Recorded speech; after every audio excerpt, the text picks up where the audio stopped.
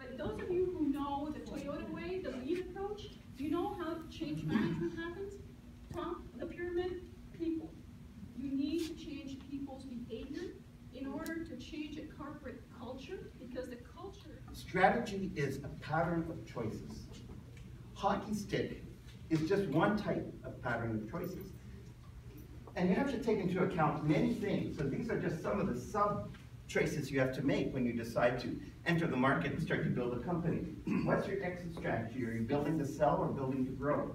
Where are you in the value chain? And where you are in the value chain will shift depending on where you are in the maturity of your company. What's your innovation strategy? Are you a product innovation or a value in, in- innovation? Are you uh, sustaining innovation or disruptive innovation? These are just some of the choices you need to make. It's not just about, oh, get lots of money, get lots of customers, and things are great. That's not how it works in real life.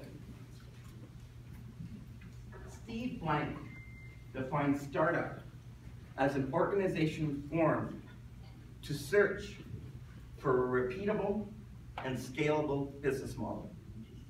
So Uber is not a startup. I don't, I don't ignore the popular definitions. We're going to use the real definition. You're searching. And then eventually you become a business which is able to execute. But in the middle, you're a scale up. And what I want to do is I want to make the word scale up popular. Who cares about startups? Startups are nothing. Startups are not creating any value. Startups are babies. We want people who can at least crawl and walk. So scale ups have the objective to develop the ability to execute and the credibility to attract. Those are the two things you're focusing on in scaling up the smart way. Not customer attraction, that's a false metric.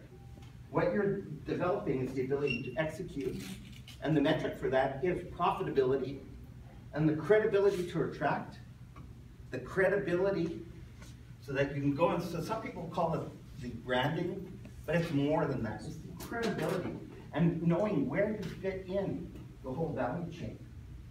So scaling smart, the way I define it, is maximizing execution while managing uncertainty. Managing uncertainty because you cannot predict the future. Who knows what life is going to be like? And we're entering a very uncertain time. Who knows next year if we're going to be able to sell as easily into the States as we do now? And you have all of these entrepreneurs who say, oh, we're going to make money when we go into the States. It's going to get harder and harder to sell south of the border, no matter what